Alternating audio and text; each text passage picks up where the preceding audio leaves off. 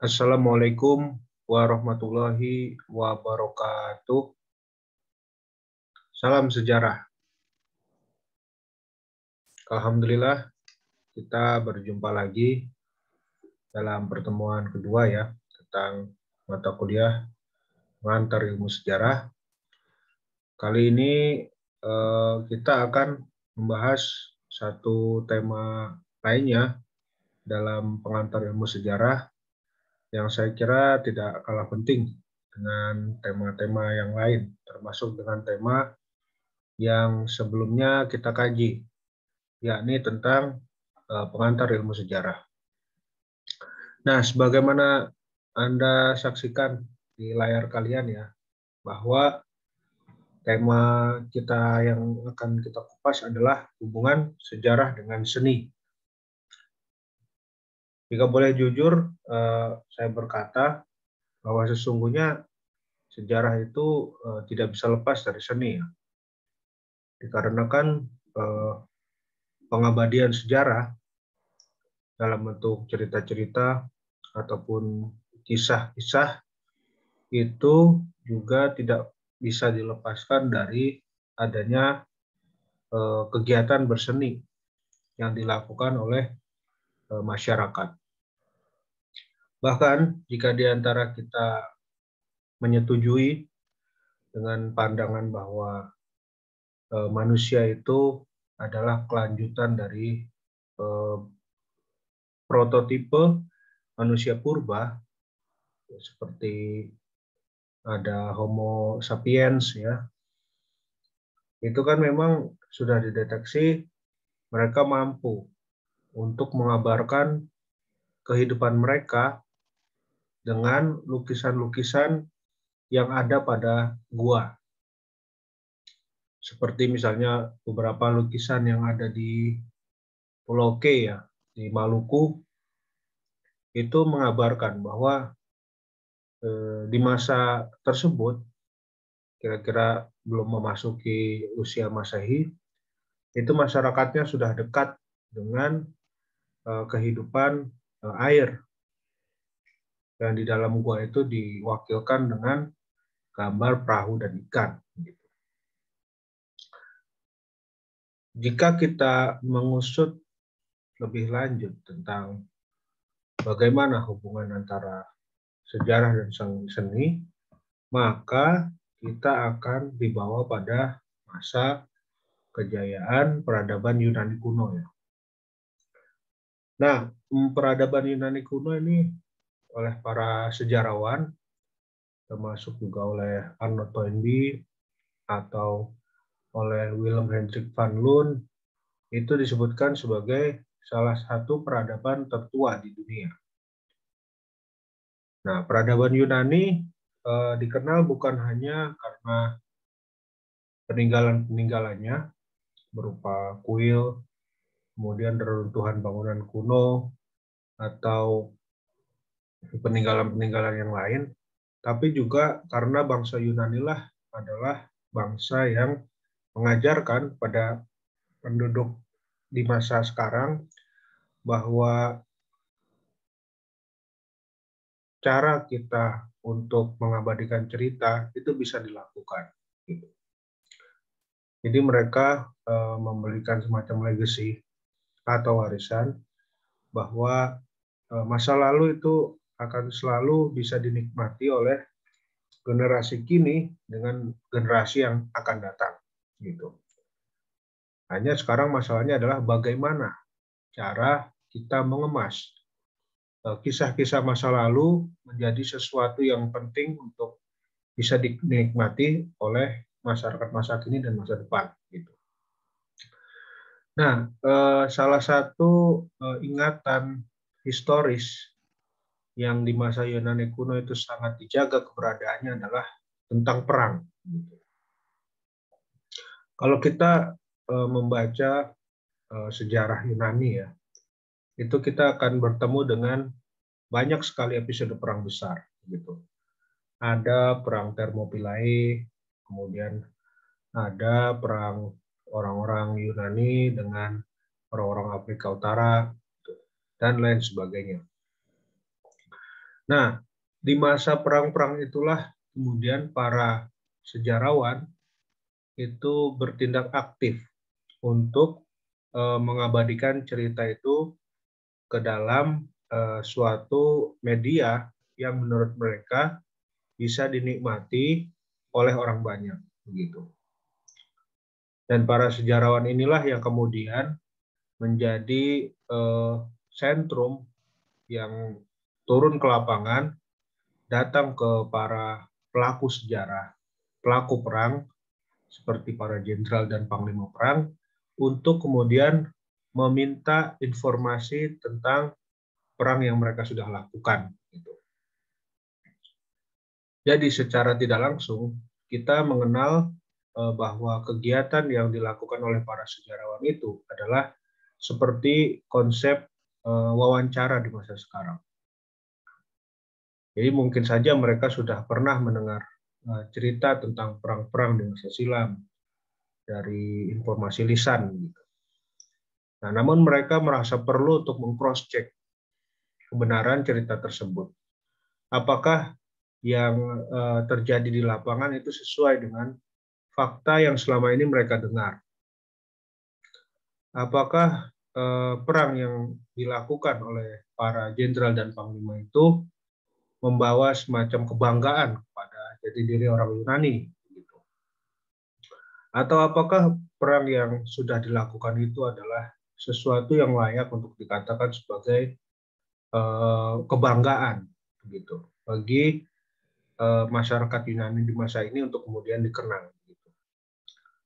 Nah, pertanyaan-pertanyaan itulah yang menyelimuti uh, benak para sejarawan sehingga mereka terdorong untuk membuktikannya.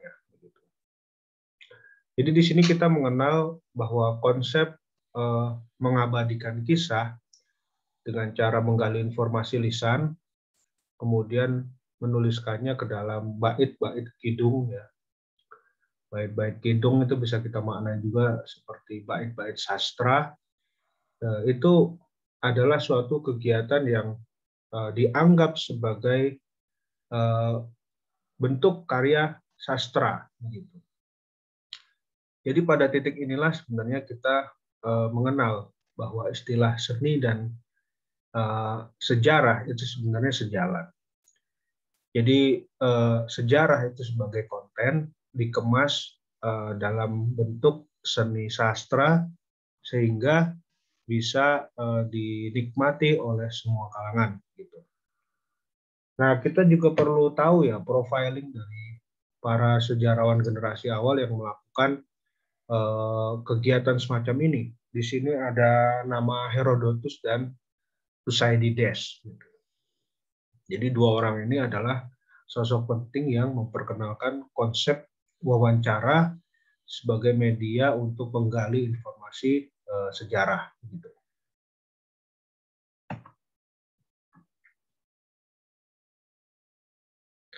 Nah, uh, selanjutnya kenapa Eh, cerita ataupun kisah masa silam itu dikemas dalam bentuk syair.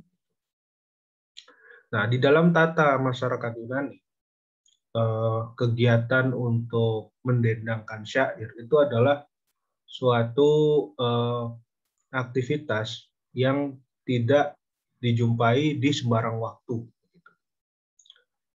Jadi hanya di momen-momen tertentu ada sekelompok orang yang didapuk untuk uh, mendendangkan syair-syair atau kidung-kidung yang isinya adalah kepahlawanan terhadap sesuatu yang terjadi di masa silam. Nah, kepahlawanan itu biasanya uh, terjadi atau diekspresikan lewat uh, penceritaan tragedi peperangan. Nah, di sini uh, terdapat momen di mana orang-orang yang mendengar eh, kisah tersebut itu seperti teraduk-aduk emosinya. Karena memang cara membawakan dari si penyair ini itu memang yang mengundang perhatian. Sehingga di sini semakin menabalkan, semakin memperkuat bahwa sejarah itu tidak bisa lepas dari seni gitu.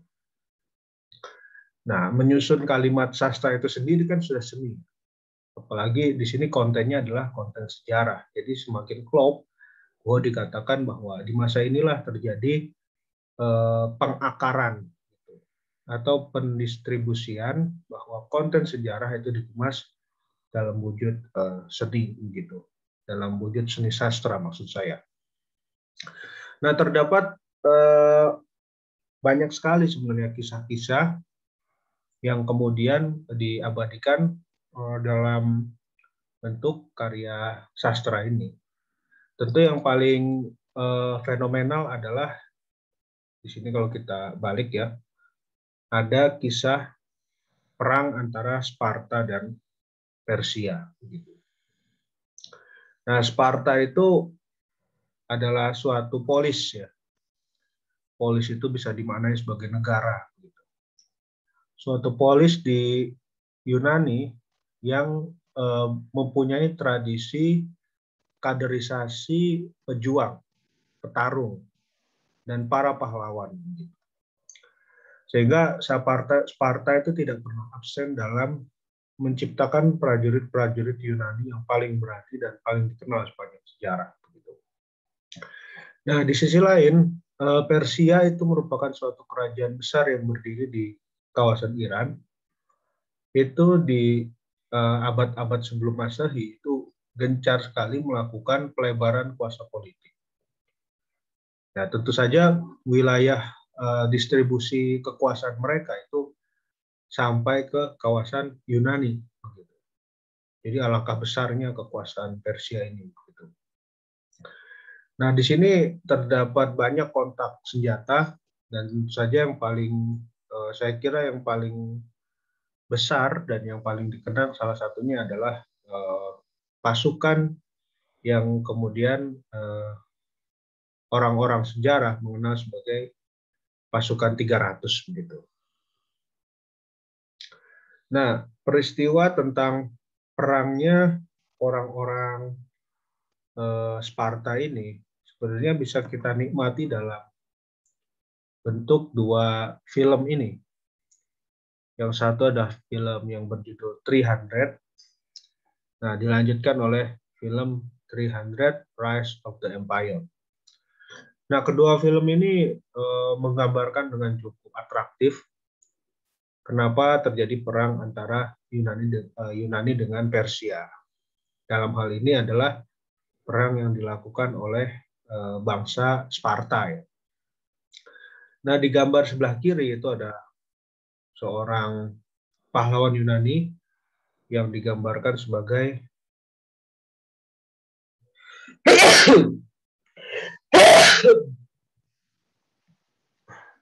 maaf ya ya pahlawan Yunani yang digambarkan sebagai uh, salah satu hero yang sangat dikenal oleh bangsa Yunani.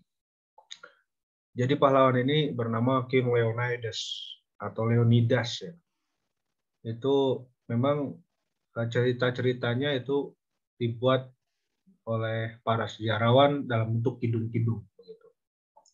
Yang kemudian kidung-kidung itu uh, bisa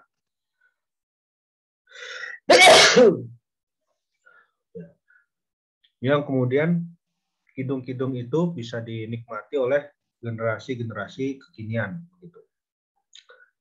Nah, eh, Leonidas ini memimpin pasukan yang dikenal sebagai pasukan 300 ya. Atau 300.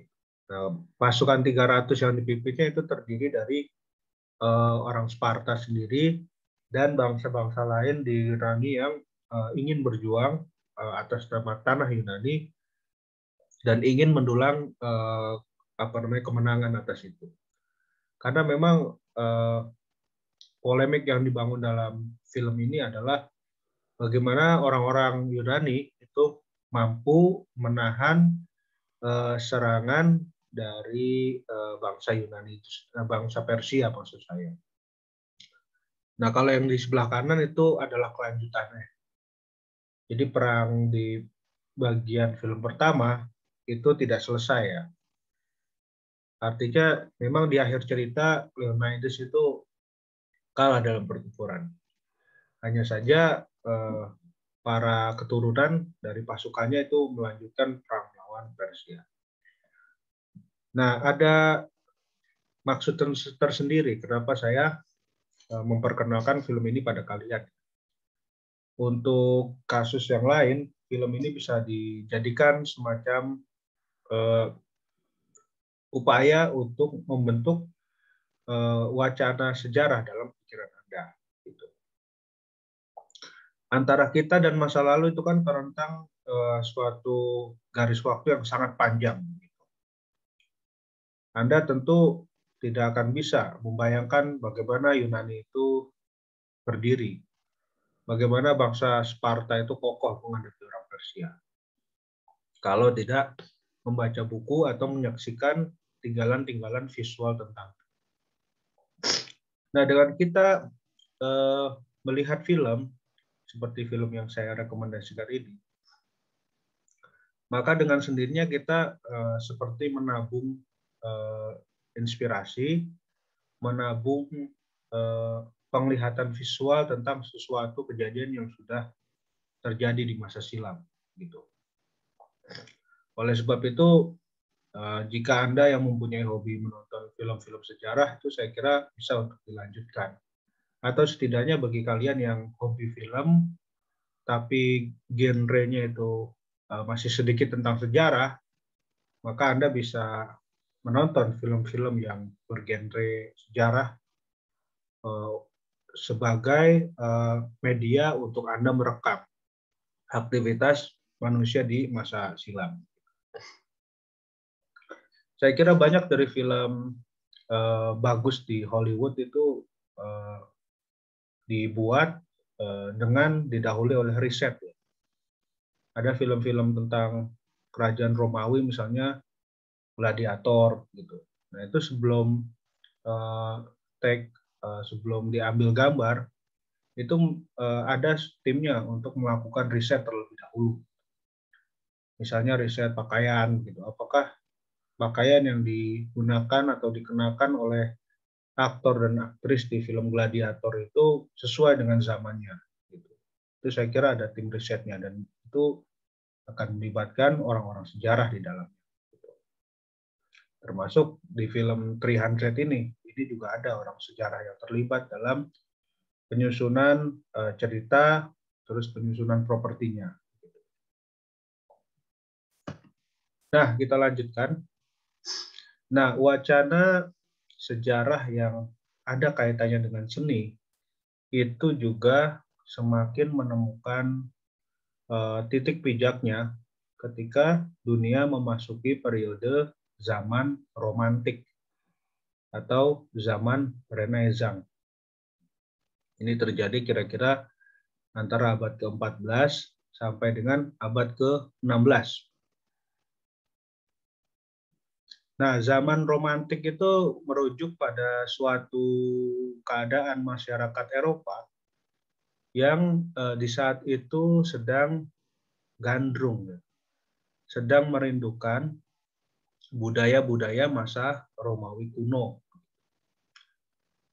Kalau kita membaca sejarah Eropa, itu kan Romawi itu hancur ya kira-kira eh, abad ke-6 sampai 7 Masehi ya.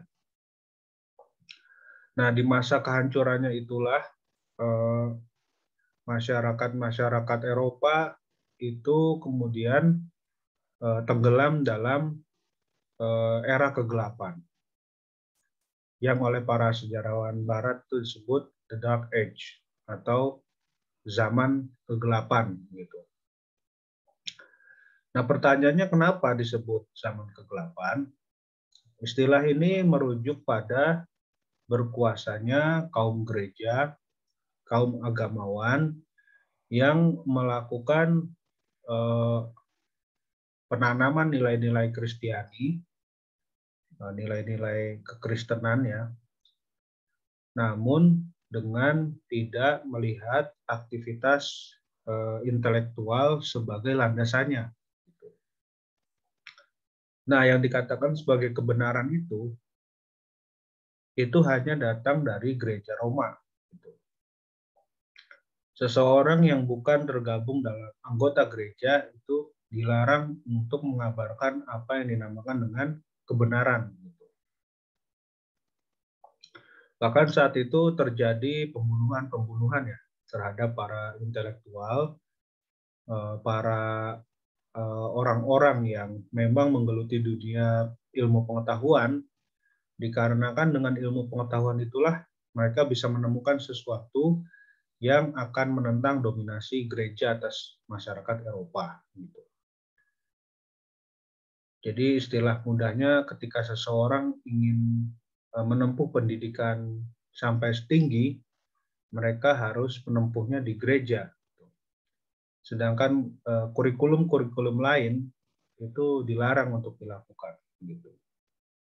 Oleh sebab itulah eh, kondisi masyarakat Eropa itu kemudian Eh, jatuh dalam nuansa kebodohan. Nuansa ketika eh, agama menjadi semacam kegiatan untuk menakut-nakuti masyarakat. Nah, sebagian dari masyarakat kemudian merindukan masa-masa kegemilangan Romawi dulu. Gitu. Sebelum Romawi runtuh kan bangsa Eropa dikenal sebagai bangsa yang berperadaban luhur banyak bangunan monumental, kemudian eh, banyak eh, semacam pengingat-pengingat atau monumen-monumen yang meninggikan harkat dan martabat bangsa Romawi di hadapan bangsa-bangsa lainnya. Nah, kerinduan itulah yang kemudian termanifestasikan dalam suatu istilah yang identik dengan kata romansa. Gitu. Makanya zamannya pun juga disebut zaman romantik ada nuansa kerinduan akan hal-hal yang lama gitu. Nah, kemudian ada istilah kedua di sini renaissance. Ini diambil dari bahasa Perancis yang eh, maknanya adalah kelahiran kembali. Nah, kalau bahasa Inggrisnya ini eh, dikenal dengan istilah rebirth atau kelahiran kembali gitu. Nah, istilah ini merujuk pada kegiatan ataupun aktivitas masyarakat yang di abad ke antara abad 15-16 itu giat sekali melakukan kampanye budaya. Kampanye budaya itu eh, ada berapa macam ya. Kalau di Italia itu biasanya dikenal dengan ekspresi seni lukis gitu.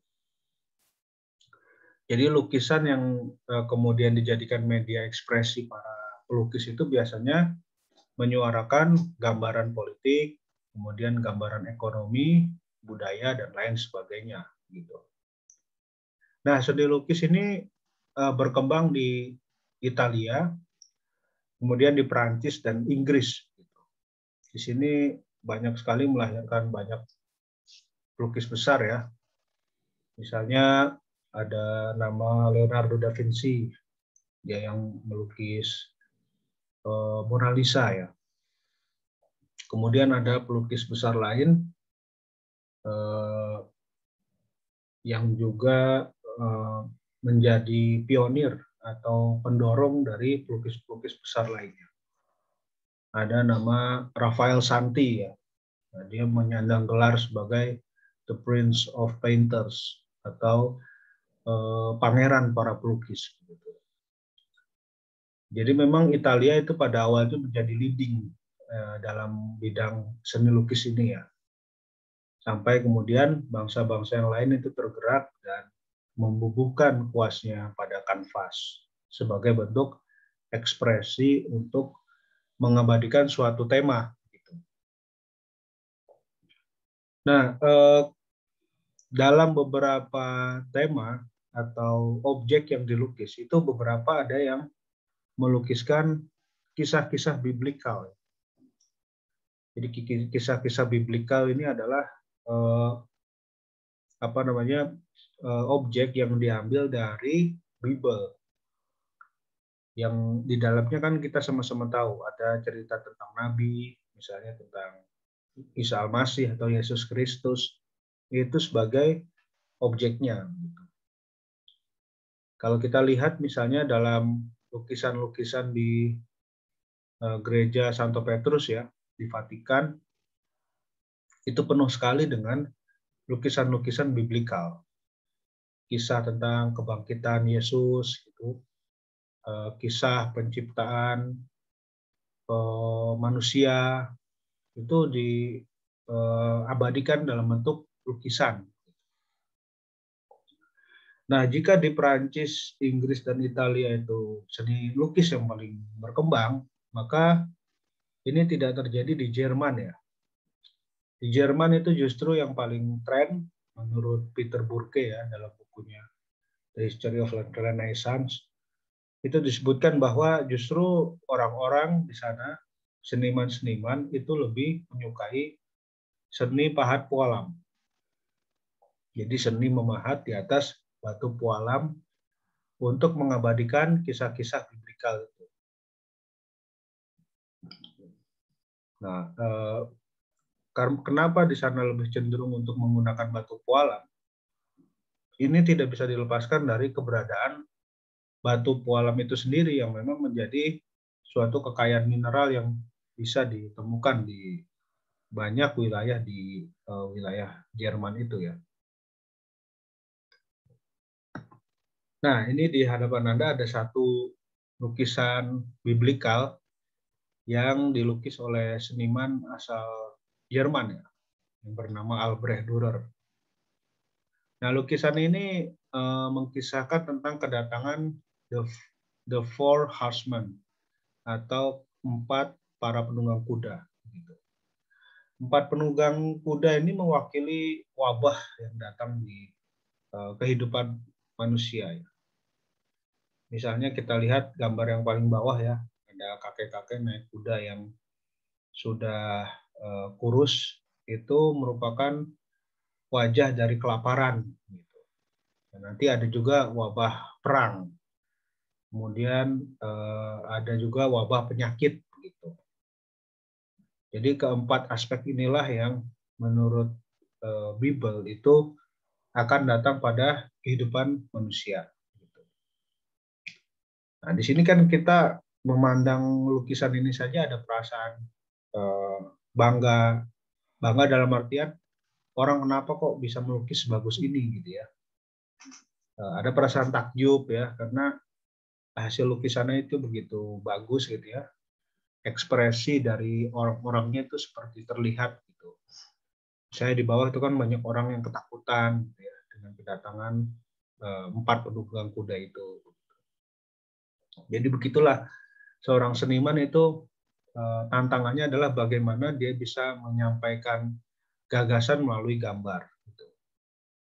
Saya teringat eh, ketika melihat atau menonton film eh, Francisco Gaya ya. Francisco Gaya itu seorang seniman dari Spanyol.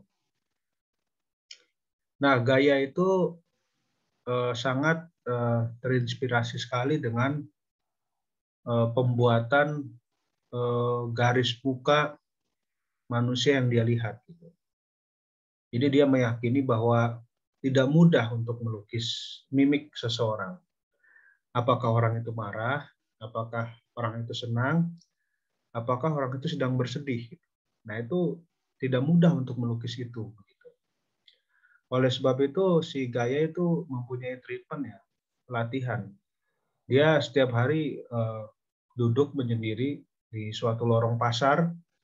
Nah, dia lihat setiap uh, raut muka orang-orang yang lewat.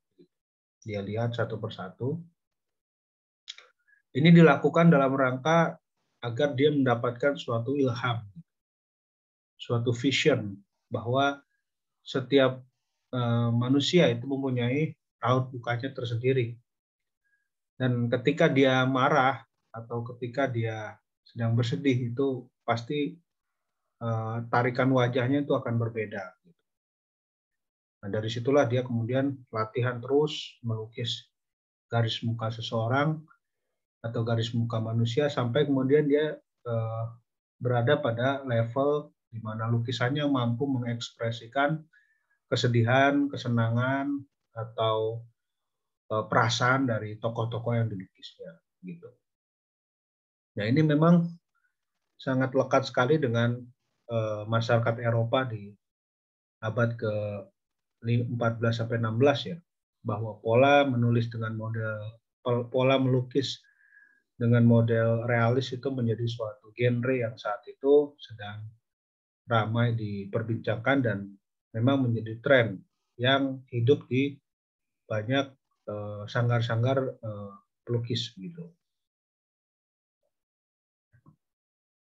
Nah, uh, ternyata kekaguman orang pada sesuatu yang sifatnya mitos itu terjadi bukan hanya di masa silam.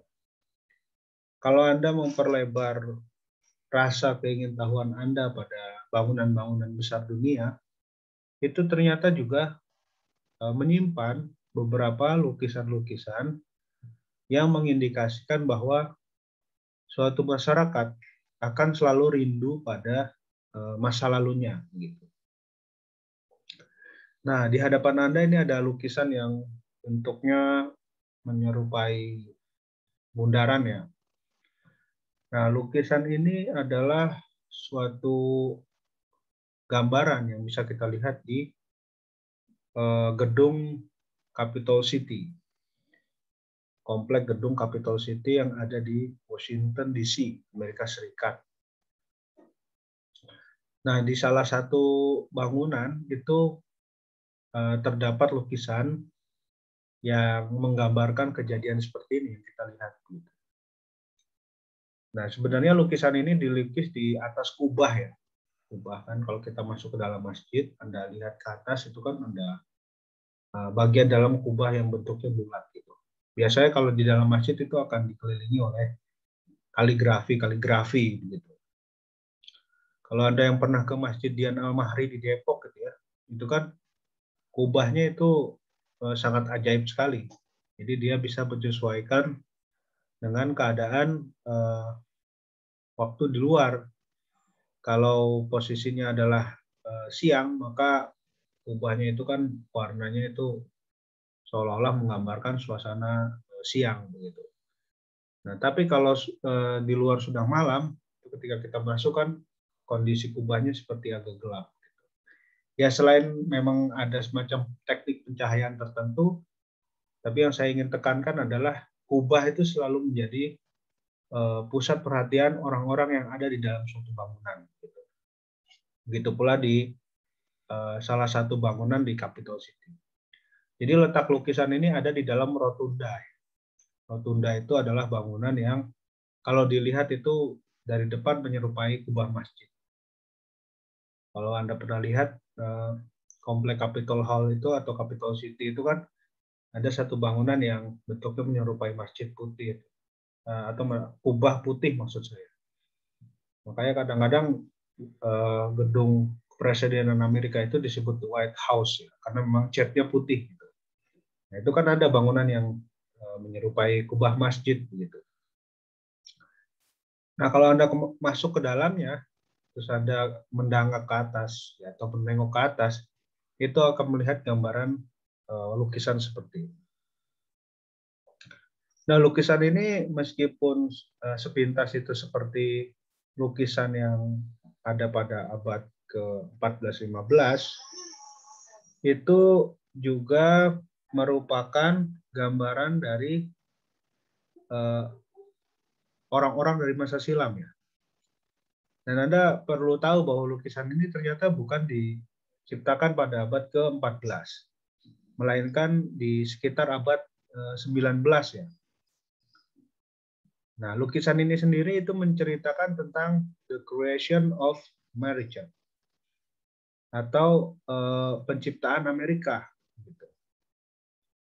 Di bagian tengah ini itu kan ada seorang yang menengok kita ya, ada orang yang seperti berpakaian jenderal ya paling bawah itu. Uh, maksud saya di atas orang yang uh, sedang memegang tameng dan pedang gitu ya. Itu kan ada orang dengan rambut putih dengan baju jenderal. Itu adalah sosok George Washington. Nah di kanan kirinya ada seorang perempuan dengan trompet ya dan perempuan dengan suatu tongkat itu menggambarkan adalah dewa-dewi Yunani. Gitu. Jadi di sini ada semacam kisah tersirat atau ungkapan tersirat bahwa Amerika itu lahir sebagai perwujudan perwujudan modern dari Yunani kuno begitu. Kemudian Anda bisa lihat di bawah itu ada perempuan dengan tameng ya, tameng bergambar bendera Amerika Serikat itu mau menggambarkan uh, Dewi Perang begitu. Yang paling menonjol itu di sisi sebelah kiri ya. Itu ada seorang lukisan seorang laki-laki tua yang sedang memegang uh, trisula ya. Ini adalah sosok atau uh, apa namanya penggambaran dari Poseidon dewa laut yang diyakini oleh bangsa uh, Yunani begitu. Jadi maksud dari dibuatnya lukisan ini ingin mengabarkan pada yang menyaksikan uh, lukisan bahwa Amerika itu sebenarnya adalah kelanjutan dari peradaban Yunani kuno. Jadi Anda bayangkan seorang atau uh, sebuah negara superpower seperti Amerika Serikat itu tidak bisa melepaskan aspek historis atau kisah-kisah masa lalu uh, dari suatu era ya. Dalam hal ini era Yunani dan era Romawi. Gitu. Artinya orang-orang di masa kini itu selalu cenderung ingin mendaku dirinya adalah bagian dari orang-orang besar dalam sejarah panjang umat manusia gitu dengan adanya George Washington di sampingnya ada Poseidon gitu itu seakan-akan kan bahwa mereka itu hidup di satu frekuensi atau satu komunitas namun dipisahkan oleh uh, waktu atau keadaan yang berbeda gitu. tentu saja bagi uh, orang yang melihatnya itu memang seolah-olah kita seperti dikaburkan ya bahwa antara keduanya Poseidon dan George Washington itu seperti hidup di uh, apa namanya alam yang sama gitu. Padahal kan mereka berdua itu eksistensinya itu berbeda. Gitu. Jadi kesan kuat itulah yang uh, semakin uh, memperkuat pandangan bahwa seni itu memang tidak bisa dilepaskan dari sejarah begitu. Nah, beralih ke gambar selanjutnya ini adalah karya sastra Melayu kuno yang ditulis oleh Tun Muhammad atau Tun Silanang. Judulnya adalah Sulalatus Salatin ya, atau Sejarah Melayu. Nah, yang saya sampaikan pada kalian ini adalah versi uh, repro, reproduksi dari karya tersebut. Nah, untuk Anda ketahui, Sulalatus Salatin ini adalah kitab yang ditulis sekitar abad ke-16 ya oleh seorang bendahara atau seorang perdana menteri dari kerajaan Johor yang namanya adalah Tun Sri Lanang. Dan e, di dalamnya itu menghimpun keterangan tentang leluhur raja-raja Melayu kuno dari masa e, sebelum Sriwijaya ya.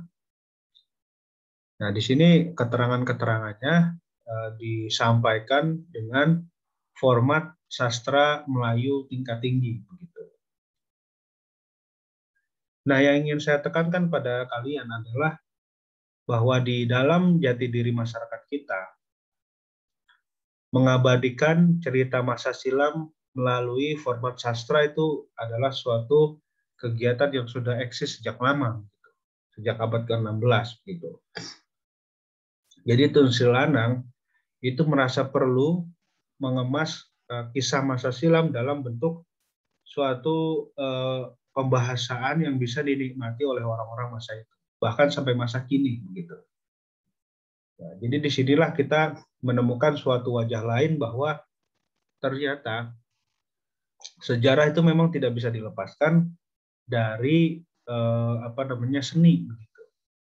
Jadi seseorang merasa perlu mempelajari seni dalam hal ini adalah seni sastra untuk bisa mengungkapkan sejarah dengan baik begitu.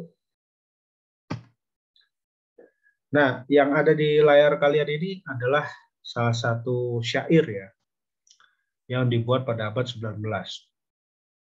Syair ini bertajuk Syair Perang Inggris di Betawi. Nah, syair ini Anda bisa lihat ya, dibuat menyerupai uh, semacam bait-bait syair yang biasa kita jumpai dalam kitab-kitab kuning ya. Kalau Anda yang dari pesantren terus pernah mengkaji kitab kuning itu kan di dalamnya ada beberapa kitab yang menyematkan model penulisan seperti ini. Misalnya di kitab Usfuriyah itu ya tentang cerita-cerita uh, atau di kitab Ta'limul Mutalim ya. Itu kitab tentang adab murid uh, adab belajar seorang murid begitu. Nah, itu ajaran-ajaran uh, akhlak atau ajaran-ajaran budi pekerti kan itu dikemas uh, dalam bentuk uh, karya atau penulisan seperti ini. Jadi ada dua bait yang terpisah. Biasanya itu ada rimanya gitu. Jadi kalau di ujung suatu bait itu A, pasti di ujung uh, bait kedua itu A juga. Gitu. Dan seterusnya gitu. Ada semacam kesamaan rima gitu. Nah, eh, syair perang Inggris di Betawi ini juga mengisahkan tentang suatu kejadian sejarah ya, yakni tentang eh, penaklukan Batavia oleh pasukan Inggris yang dilakukan sekitar tahun 1811 begitu. Nah, jadi eh, sampai dengan abad 19 itu masyarakat kita dalam hal ini masyarakat Betawi ya, itu masih memandang peran penting sastra sebagai media yang di dalamnya mengemas kisah-kisah sejarah. Nah, eh, dari sini kita bisa mendapat suatu gambaran bahwa bukan hanya di Yunani, bukan hanya di Amerika Serikat, tapi juga di Indonesia sendiri, itu antara seni dengan sejarah itu tidak bisa dilepaskan. Ya, di abad modern seperti ini memang hubungan antara seni dan sejarah itu tidak uh, apa namanya tidak secara kentara terlihat gitu ya. Kita kan kalau menikmati karya sastra atau karya uh, ilmiah itu kan biasanya akan berjumpa dengan buku atau artikel yang uh, dalam beberapa hal nuansa sastra itu sifatnya pilihan. Ada beberapa penulis yang merasa perlu untuk mengemas uh, gaya penceritaannya dalam bentuk uh, karya sastra ya ada beberapa yang tidak, yang menganggap ya penulisan sastra itu punya genre tersendiri. Sedangkan penulisan gaya ilmiah, seperti yang kita lihat dalam jurnal, itu adalah suatu gaya tersendiri. Tapi di uh, kalau kita berkaca di masa silam, itu kan gaya itu tidak ada. Yang ada adalah bagaimana kita mengemas uh, suatu kisah sejarah melalui teknik pengungkapan sastra yang indah Ya, saya kira uh, sampai di sini ya perkuliahan kita. Mudah-mudahan apa yang saya sampaikan bisa bermanfaat pada kalian. Dan tolong apabila ada pertanyaan, silahkan disampaikan di kolom komentar. Nah ini penting, karena saya mengetahui bahwa Anda paham atau tidak itu dari pertanyaan Anda. Gitu. Nanti di video pengajaran berikutnya saya akan jawab beberapa pertanyaan yang menurut saya relevan uh, dan tentu saja saya berharap bahwa Anda selalu uh, berada dalam kondisi sehat walafiat karena uh, saya memproduksi video ini dalam rangka untuk mempermudah kegiatan belajar dan mengajar yang memang sekarang belum bisa diselenggarakan dengan cara yang offline begitu. Baik, terima kasih. Kita tutup perjumpaan kita dengan hamdalah. Ya, kita jumpa lagi di video berikutnya. Uh, Wallahu Assalamualaikum warahmatullahi wabarakatuh. Salam sejarah.